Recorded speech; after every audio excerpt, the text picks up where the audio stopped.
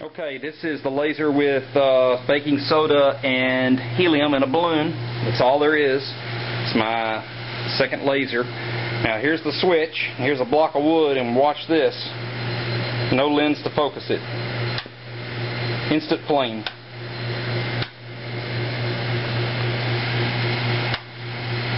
Anyway, that's the best performance I've ever gotten. However, I will note that this is a uh, concave uh, high reflector, and I don't know how long the focal point is, but it's, it's pretty narrow. I'm sure it's not. Uh, it may be partially focused when it's coming out of there, but that's the best performance I've ever gotten out of a homemade laser like this.